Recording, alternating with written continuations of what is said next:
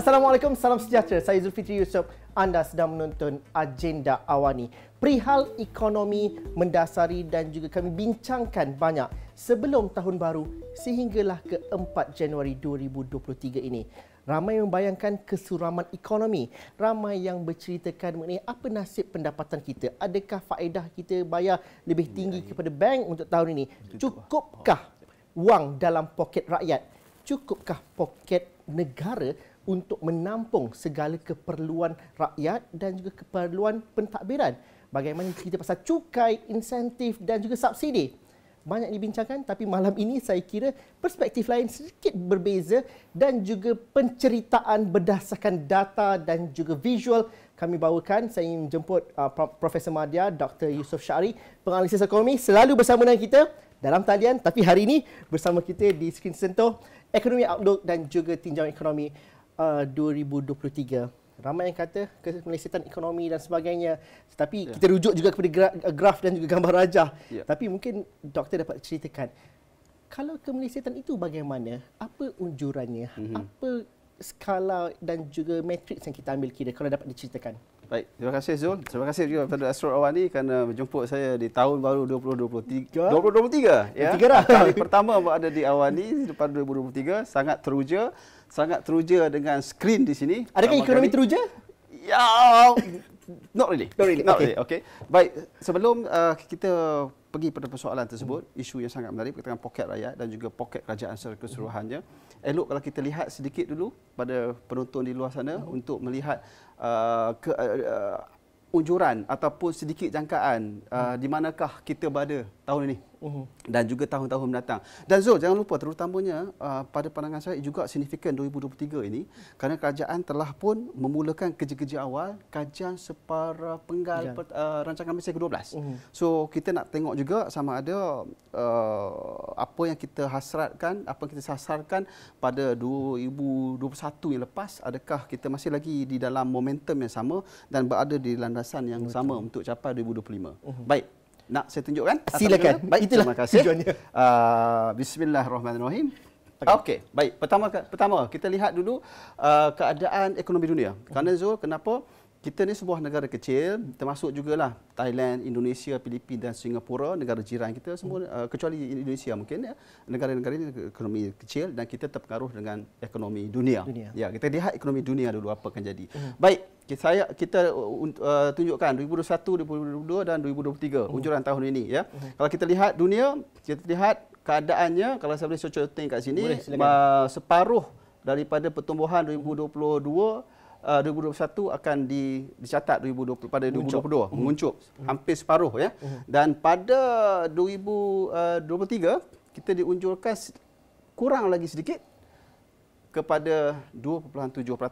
Hmm. Jadi maknanya apa yang kita nak sampaikan kat sini ekonomi kat dunia keadaannya pasti akan tidak meleset pada setakat ini uh-huh. tetapi menguncup dan penguncupan ini juga memberi impak kepada negara-negara jiran kita kalau hmm. Zul lihat di sini penonton lihat di sini ya 2022 pertumbuhannya uh, lebih perlahan berbanding 2021 dan 2023 perlahan lebih perlahan berbanding 2022 kalau anda ya. dapat lihat juga kalau dapat kami uh, ya.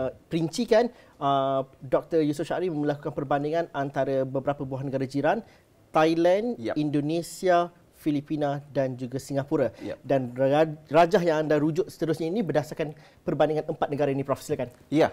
Uh, seterusnya kita lihat inflasi. Hmm. Uh, inflasi juga menekan Malaysia dan hmm. negara-negara sekitar pada tahun 2022. Hmm. Dan kita andaikan, kita lihat dunia dulu pada permulaannya.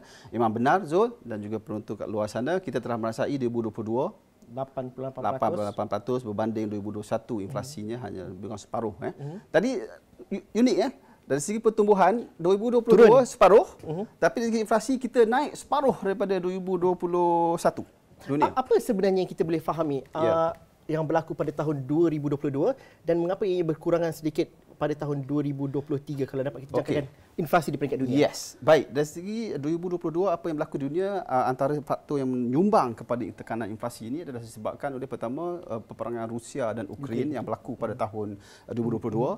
Ini menyebabkan rantaian bekalan terganggu. Uh-huh. Jadi apabila rantaian bekalan terganggu ada pengeluaran yang tak dapat nak disalurkan Salurkan. dan dalam masa sama ada demand, uh-huh. ada permintaan, orang nak berbelanja uh-huh. di negara-negara utama seperti negara-negara di Eropah dan juga di Amerika. Ini menyebabkan harga untuk cenderung untuk naik. Right. Dan jangan lupa, kita pun menghadapi masalah yang sama. Gandum. Saya pernah beritahu hmm. dahulu, saya tak ingat sama ada di platform uh, di portal news Awani hmm. ataupun perbincangan kita secara Tapi begini. di Esro Awani? Ya, saya pasti di Esro Awani, ya pasti. Um, yang mana saya maklumkan di situ bahawa kita kerajaan kena berhati-hati. Dari satu sudut, kerajaan memberi suntikan yang besar hmm. kepada pelbagai insentif untuk menggalakkan untuk membanyakkan poket rakyat ni. Hmm. Tapi dalam masa yang sama, kita kena hati sebab uh, firma ataupun syari, apa kilang nak keluarkan barang ni mereka tersekat dengan rantaian bekalan daripada negara oh, lain juga uh-huh. yang menyebabkan mereka tak boleh nak uh, nak sediakan apa yang kita nak. Uh-huh. Uh, ini bila poket tambah uh, ada duit nak beli barang dan sama barang tak ada. Barang tak ada itu yang harga naik. Harga naik. Uh-huh. Dan jangan terkejut tahun ni apabila hal pada musim perayaan kalau masih ingat 2022 hmm. saya terkejut tengok mesin ATM habis duit hmm, segala. Betul. Itu yang menunjukkan keadaan yang berlaku pada 2022. Jangan terkejut itu maksudnya 20 2022 tu akan berlaku 2023 semula atau macam mana? Um, saya tak jangka keadaan itu akan berlaku okay. semula. Saya harap tidak. tidak saya harap tidak. Hmm. Kali ini kita belajar ada kesilapan. Kalau tak boleh belajar ada kesilapan lagi, saya pun tak tahu nak kata apa. Kita pun angkat skrin, kita balik. Terus kita kat sini. Baik, uh, itu keadaan yang berlaku. Dan kenapa dia menurun hmm. uh, pada tahun 2023, dunia dijangkakan kerana ada uh, perubahan yang positif. Hmm. Dan kita lihat China buka kembali buka alhamdulillah walaupun secara perlahan dan sama ada pemulihan di negara-negara lain terutamanya negara yang bukan Eropah uh-huh. seperti di uh, Timur Tengah dan uh-huh. juga negara Asia lain. Uh-huh. Ha, mhm. ini akan membantu keadaan sebegini. Uh-huh. Kerana jika keadaan ini seperti 2022 kita akan menghadapi mungkin satu malapetaka yang akan berpanjangan kita tidak mahu berlaku. Ini di peringkat dunia, tapi ya. bagaimana pula inflasi di peringkat ya. tempatan di sebelah sana Zul kita ada di peringkat warna merah Malaysia, ini. ya hmm. warna merah ya. Uh, baik kalau kita lihat di inflasi di Malaysia sama juga hmm. dijangka berkurangan daripada 3.2% ini menunjukkan oleh IMF hmm. kepada 2.8% pada ada 2023. penurunannya di situ. Ada penurunan, betul hmm. Zul? Penurunan. Ya, sama juga 2023. dengan 2023. Ya, betul Zul bersama juga negara-negara lain uh-huh. ya negara-negara lain di rantau rakan dan rakan sebelah jiran kita uh-huh. pun akan mengalami keadaan yang sama tapi ini satu perkara yang yang bagi saya adalah satu perkara yang baik uh-huh. kerana dari satu sudut pertumbuhan ekonomi kita perlahan uh-huh. dalam perlahan itu juga disokong sedikit dengan kadar harga yang lebih perlahan. Uh-huh. Tetapi jika berlaku seperti mana yang berlaku uh, sebaliknya uh-huh. seperti yang macam ini ya contohnya ekonomi perlahan tapi inflasi tinggi itu keadaan yang agak sukar untuk kita kawal. Kita mungkin melihat kepada angka-angka seperti kita selalu ya. bandingkan dengan Singapura contohnya. Ya. Pertumbuhan ekonomi 7.6% 2021 ya. uh, tapi turun begitu signifikan pada ya. uh, 2022 mm-hmm. dan kadar itu menurun lagi. Uh, walhal kalau kita lihat Malaysia ianya mungkin melihat secara secara lebih keta, tidak terlampau ketara naik yeah. dan ya. turunnya itu. Yeah. Bagaimana kita lakukan lagi memahami situasi itu? Baik, kita kena faham pertama Singapura adalah sebuah negara lagi kecil dari Malaysia uh-huh. dan Singapura sangat bergantung kepada dunia. Okay. Terutamanya ekonomi US. Yes. Sangat mirror kepada uh-huh. ekonomi US. Jadi kalau kita nak lihat kalau uh, kekuatan ekonomi uh, Singapura ini bergantung kepada US lah sebenarnya. Financial Jadi sebab itu kalau world kalau kat sini tinggi kan uh-huh. and then kena jatuh hampir separuh dan sama pattern seperti dunia. dunia. Okey, tetapi Malaysia sedikit berbeza dengan uh, latar belakangnya sedikit ekonomi berbeza, strukturnya sedikit berbeza dan kita jangan lupa bahawa kerajaan juga pada tahun-tahun yang lepas melakukan perbelanjaan yang uh, bagi saya yang aktif untuk memastikan ekonomi itu uh, berjalan. Uh-huh. Ha, ya. Okey, kita kita padamlah sikit eh, ya, banyak sangat contohkan dah ni. Hmm. Tapi kita masih lagi merujuk kepada data yang juga sama. Kerana okay. Prof, kalau kita melihat kepada apa yang berlaku di inflasi contohnya. Yeah. Uh, kita melihat kepada inflasi kita pada 2.8% unjuran untuk tahun ini yep. berbanding 3.2%. Tetapi dalam masa sama kita bercerita ni bahawa ini didorong dan juga disokong disokong hmm. dengan subsidi kita. Ya. Yeah. Subsidi kita cukup besar. Yep. Bagaimana perbandingan ini dilakukan di tempat-tempat lain. Sana kerana ada yang menganggap itu daripada sudut yang sedikit negatif dan juga skeptikal. Mm-hmm. Tapi itu juga kelebihan yang kita ada. Begitu mm. juga kita cerita mengenai mm. size dan juga pertumbuhan ekonomi. Yeah. Iklim ekonomi kita berbeza kalau kita bandingkan yeah. dengan Singapura ataupun yeah. Yeah. Indonesia dan yeah. juga Vietnam yang berteraskan kepada yeah. labor. Yeah. Bagaimana kita dapat fahami kekuatan dan juga kelebihan yang kita ada untuk bertahan dalam kesukaran ni? Saya dah bagi tahu sedikit di awal secara keseluruhan tadi hmm. eh, sebelum soalan Zul sampai yang mana saya beritahu tahun-tahun kebelakangan uh, satu dua tahun sebelakangan ini kerajaan memperuntukkan perbelanjaan yang aktif. Hmm. Bila perbelanjaan aktif ni bermakna salah satunya subsidi lah. Uh-huh. Dan saya juga pergi tahu Zul ketika mana saya di Dubai pada ketika itu kita berhubung secara langsung melalui telefon yang saya minta lah kerajaan sekarang untuk melihat subsidi nak kurang kat mana kita lihat ekosistem subsidi secara keseluruhan macam uh-huh. dashboard gitu uh-huh. ya. Kerana subsidi kita uh, berada di berselerak dan merata Zul. Hmm. Kita jangan, yang paling kaya sampai yang paling miskin dapat. Ya, ya, kita jangan ingat subsidi kerajaan bagi subsidi kepada uh, uh, tenaga bahan api, hmm. minyak. Hmm. Tidak sebenarnya.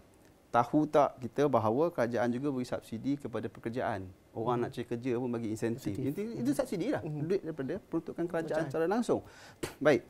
Memang benar subsidi memainkan peranan penting untuk menahan hmm. ataupun jadi mampan untuk mendepani uh, cabaran tu.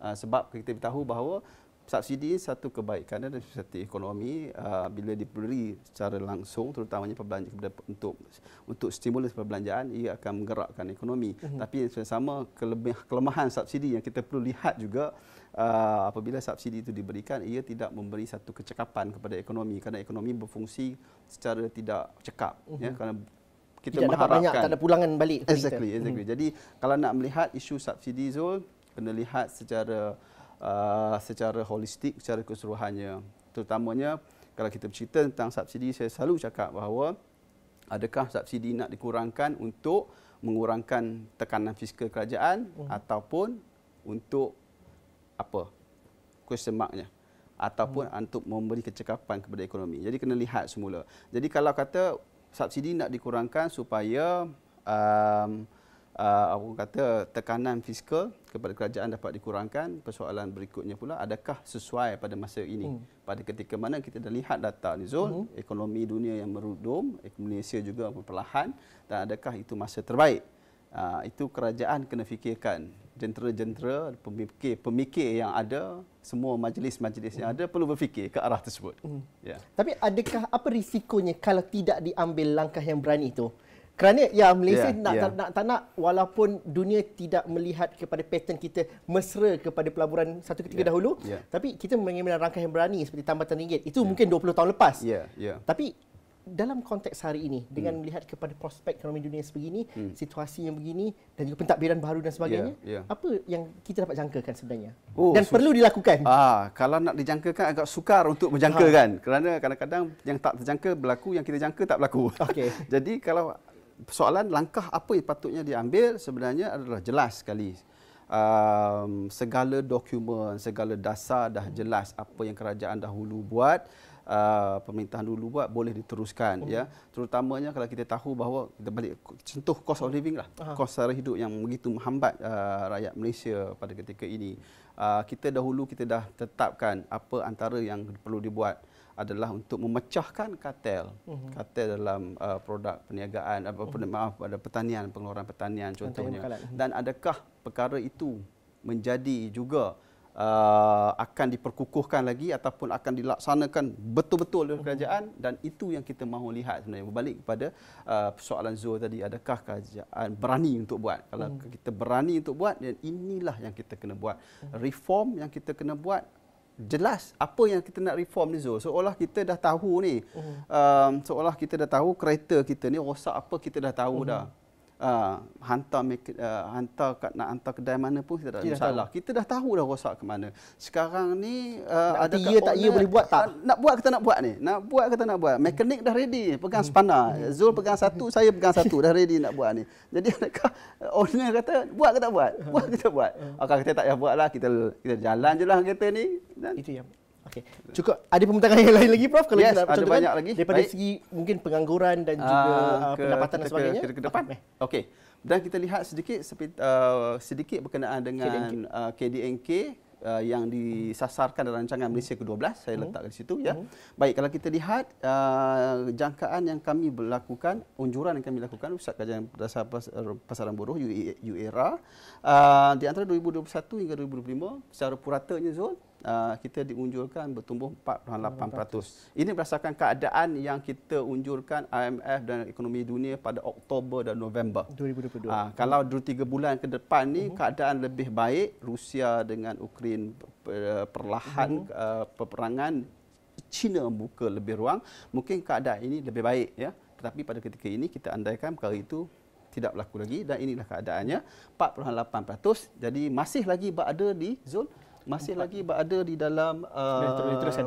uh, masih lagi berada di dalam range uh, rancangan Malaysia ke-12 iaitu 4.5% hingga 5.5%. Kita berada di paksi dan juga landasan ni betul. Ya betul Zul. Ya, c- cuma agak sedikit perlahan. Mhm. Saya menjangkakan 5% dan ke atas ya.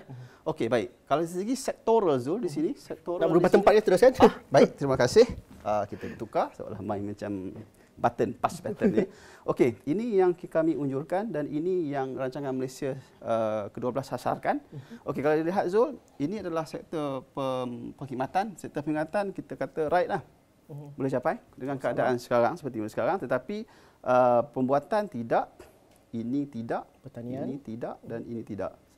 Tapi masalahnya Mazhab. ialah mungkin kalau pertanian contohnya, itu Ya. yang menyumbang kepada hal-hal yang berkaitan dengan poket rakyat dan juga terus Betul. direct kepada rakyat. Ya, betul. Itu juga uh, kalau ini bermaksud bahawa jika pertumbuhan itu perlahan, ini juga bermaksud bahawa pengeluaran perlahan, pendapatan pun akan perlahan, pekerjaan pun akan lebih perlahan. Mhm. Itu ya konotasi yang kita akan dapat lihat daripada impak yang ini. Mhm. Ya. Dan adakah sesuatu yang boleh dilakukan untuk melonjakkan ataupun kita masih lagi tidak boleh kita bergerak jauh sebenarnya? Ya, kerana keadaan sekarang kita sekarang berada di awal 2023. Aha. So kita ada lebih kurang ada 2 tahun lagi, 2023, 2024, 2024, 2025.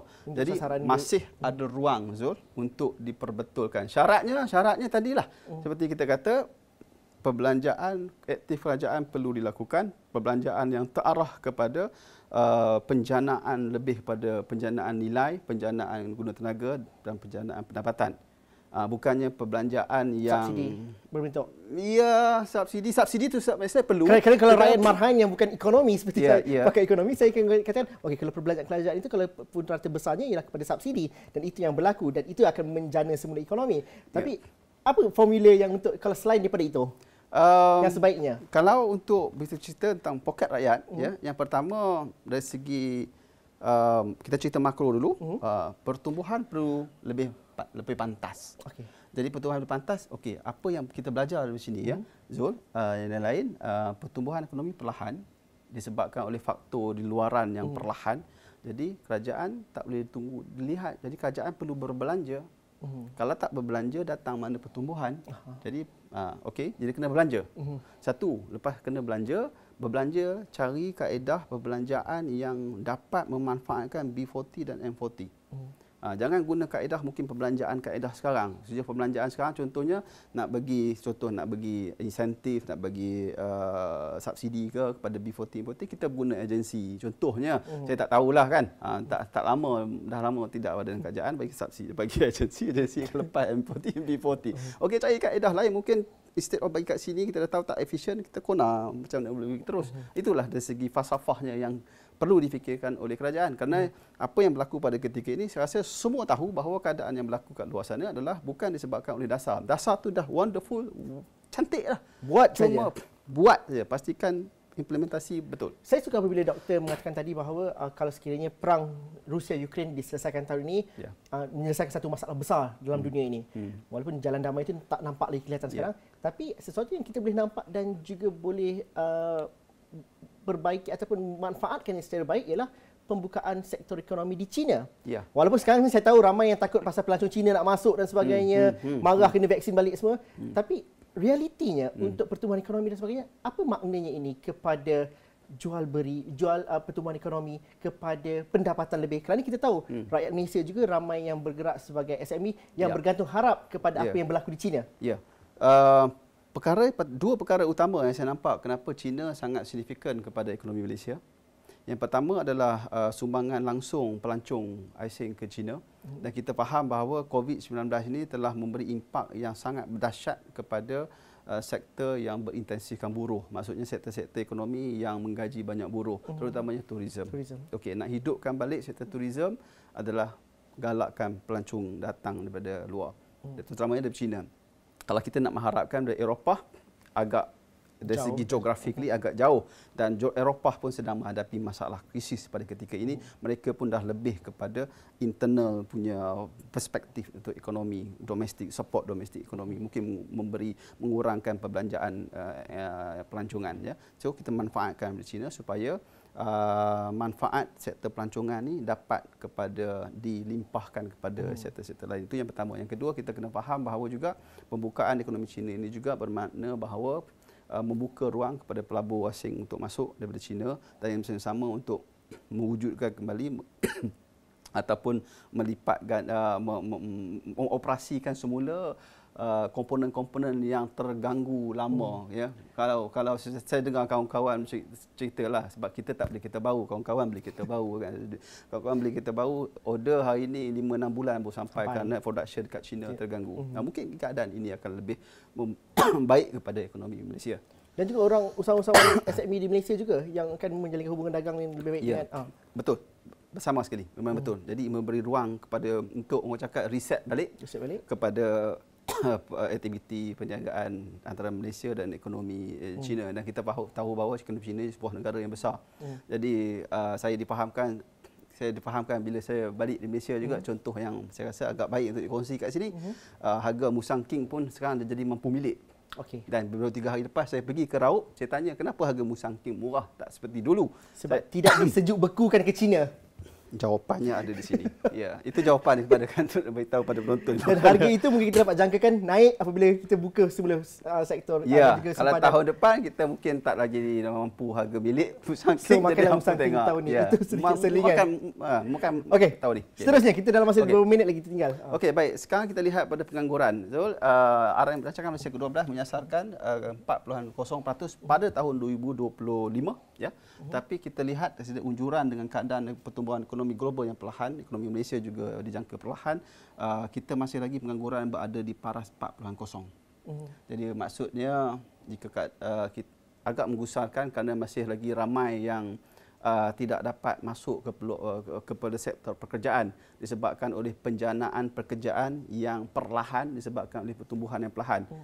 Nak jana banyak peluang pekerjaan lipat gandakan pertumbuhan itu. Dok, bagaimana kita dapat memahami bahawa skala dan juga uh, mekanisme kita mengukur kepada pengangguran ini adakah masih lagi ditakut lama ataupun kita melihat kepada perubahan selepas pandemik COVID-19 begitu hmm. berbeza sedikit hmm. apabila kita bercerita mengenai peluang-peluang pekerjaan yang lebih fleksibel dan juga hmm. e-hailing dan sebagainya. Yeah. Ada orang kata macam kami ini masuk tak dalam data pengangguran hmm. dan tak pengangguran hmm. dan juga bagaimana kita melihat bahawa sektor-sektor pekerjaan yang biasa pun hmm. mereka kata peluang pekerjaan itu kami tawarkan tapi yeah. tak ada siapa yang nak sambut. Persoalan Zul ni adalah berkaitan kenapa betapa lambatnya berlaku pemadanan pekerjaan matching hmm. yang menyebabkan mereka ni eh, agak lambat untuk masuk ke dalam hmm. sektor formal ya.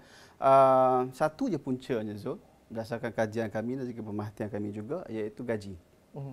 Jadi kalau maknanya kalau kita nak kurangkan kadar ini dengan cepat ya naik gaji kerana dalam uh, pasukan saya juga uh-huh. buat membuat uh, penulisan dalam ekonomi outlook 2023 yang uh-huh. pada bajet yang lepas kita dapat lihat bahawa kalau kita naikkan gaji lebih tinggi daripada paras sekarang banyak kita dapat menyelesaikan masalah bukan saja pengangguran kita dapat menyelesaikan sebahagian besar masalah ketidakpadanan pekerjaan antara yang ada ijazah dan yang bukan kita juga dapat meningkatkan kadar penyertaan uh, pasaran buruh bagi wanita uh-huh. jadi banyak manfaat dia gaji ni kira kita bagi makan pap masuk dalam mulut tu dia akan dapat banyak melegakan situasi tapi kenapa ada stigma ataupun benarkah uh, mit fakta fakta ataupun mitos hmm. bahawa sektor-sektor uh, perusahaan akan terjejas paling teruk kerana naik gaji. Walhal hmm. kalau produktiviti itu naik dan sebagainya kan yeah, bagus. Ya, yeah. saya pernah baca bertanya soalan yang sama dan dikongsi oleh uh, senior officer senior officer daripada kerajaan dulu ketika mana kita nak laksanakan upah minimum. Uh-huh.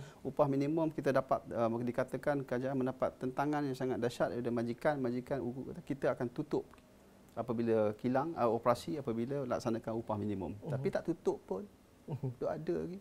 Jadi maksudnya bahawa kita kena lihat secara benda ni secara baiklah. Uh-huh. Kerana mungkin naratif yang dibawa kepada mereka tidak menunjukkan kepada situasi yang mana tingkatkan gaji dapat membantu meningkatkan keuntungan pada mereka.